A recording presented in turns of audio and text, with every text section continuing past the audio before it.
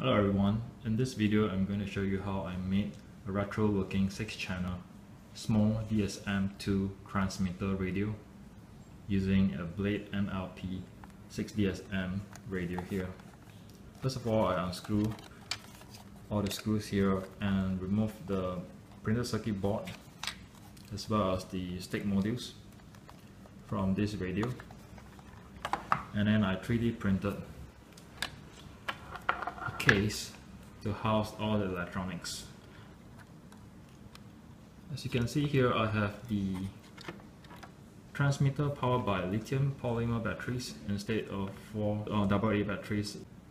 Now for the transmitter to be able to work on this um, two cell LiPo pack you need a step down regulator and as you can see here I have a step down regulator which steps down the 7.4 volts or 8.4 volts on full charge to exactly 6 volts. The regulator here is actually the smaller version of the original MP1584 from banggood.com. So the thing is, I still prefer the MP1584 although it's bigger because the output voltage is really stable and this one here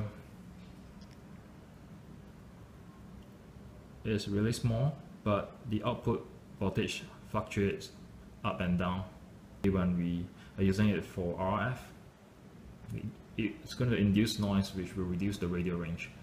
So to curb that issue I put 1000 UF 6.3 volts capacitor on the output leads this way. And after that I do get very stable voltage so if you notice the module here that I have I have do some modifications to it. I've um, switched the mode from mode 2 which default mode 2 to mode 1 so now I have throttle on the right. Um, to see how I do this kind of modification, you could look at my other video.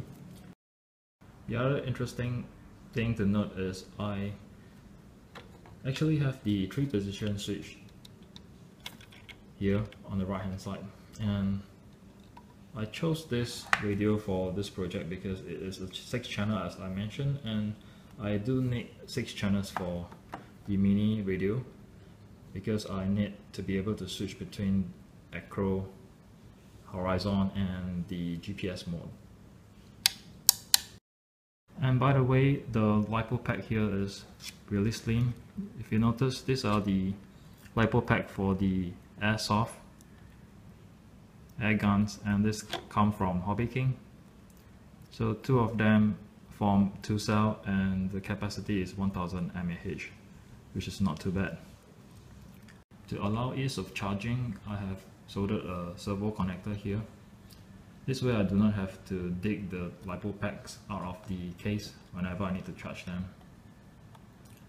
To charge the batteries, I do need this DIY harness.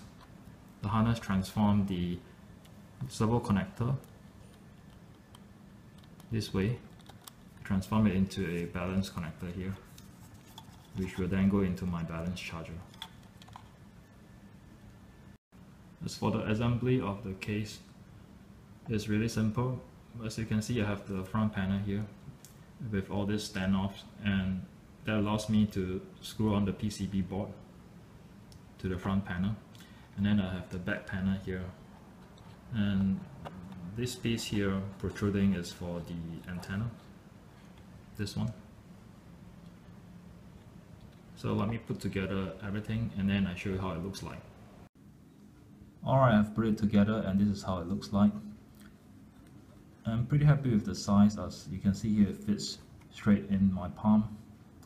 And it's really compact compared to the original radio here. Let's put things into perspective. This is the original radio and this is the retro style controller. The antenna placement here also has better polarization for better range because this is vertical polarized. If you hold it like this, it's vertical polarized and as compared to the original radio, if you hold it like this, the antenna is pointing directly forward and this is not very good for range because this is the now end of the radiation pattern of the 2.4 gigahertz radio wave. Power it on and yep, it's working. So you have the trim switches as well. Yep, the throttle. Also the flight mode switch, which is channel 6. Yep, there you have it, the retro gaming style 6 channel DSM2 small radio controller that fits in your palm. For the final finishing touch, I'm going to add a drop of hot glue here because this is the weak point of the antenna and some hot glue will strengthen it to prevent it from breaking. That's all I have for this video. Thank you for watching and subscribe.